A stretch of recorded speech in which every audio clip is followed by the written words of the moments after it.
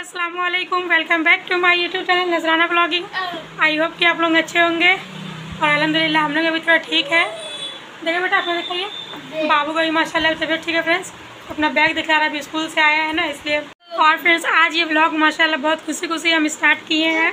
उसका एक बहुत बड़ा रीज़न है। अगर आप लोगों को मालूम हो तो आप लोग न्यूज़ में सुने होंगे कभी, या फिर जो लोग हमारे आस पास के होंगे, उन लोगों को तो मालूम होगा ही होगा।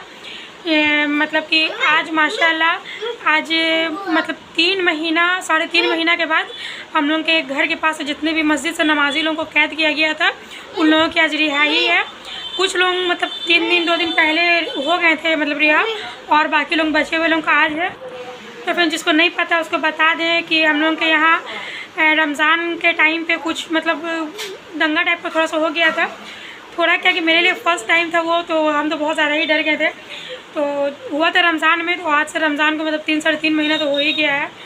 तो साढ़े तीन महीना के बाद मुझे माशाल्लाह, अल्हम्दुलिल्लाह, आज सारे लोग, जितने भी लोग थे, हिंदू, मुस्लिम, जो भी लोग मतलब कैद हुए थे इस दंगे के इसमें, और जो लोग हमारे नमाजी लोग जो हुए थे, उन लोगों के लिए और ज़्यादा खुशी है कि भाई उन लोग तो बेकसूर थे, मस्जिद में नमाज़ पढ़ रहे थे, और उन लोगों को मतलब पकड़ लिया गया था।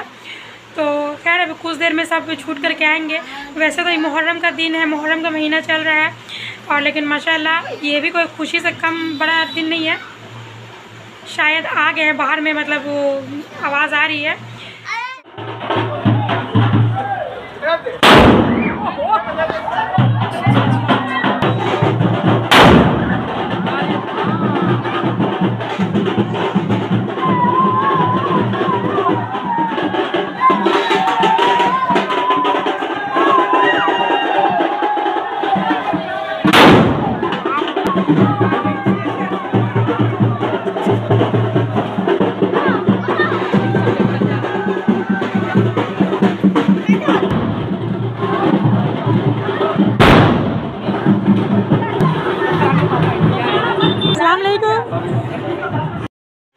फ्रेंड अभी शाम का बज रहा है सात और माशाल्लाह से मगरिब की नमाज़ भी पढ़ लिया और कुरान शरीफ की तिलावत भी कर ली है।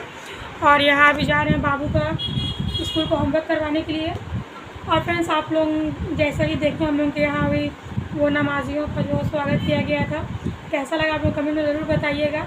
माशाल्लाह बहुत अच्छे से धूमधाम से उन लोगों को वहाँ से लाया गया और पूरा फूल का माला वगैरह और पूरा देख, जैसा कि आप लोग देखे ही हैं कि कितने धूमधाम से उन लोगों का स्वागत किया गया है।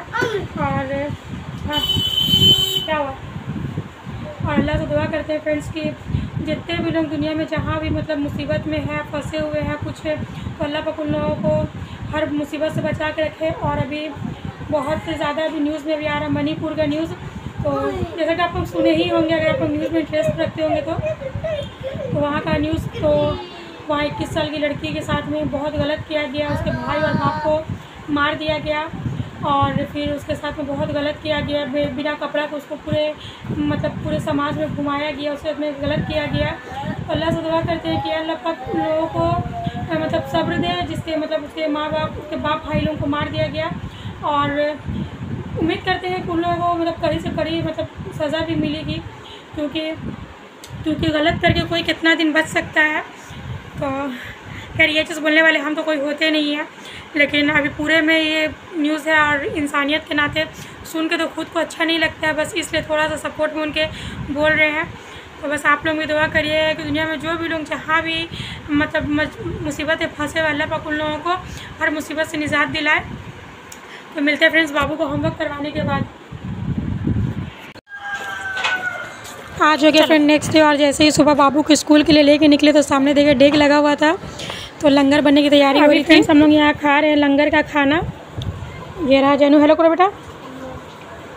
गुस्सा हो गया गुस्सा। देखा मुँह देखे इधर। गुस्सा।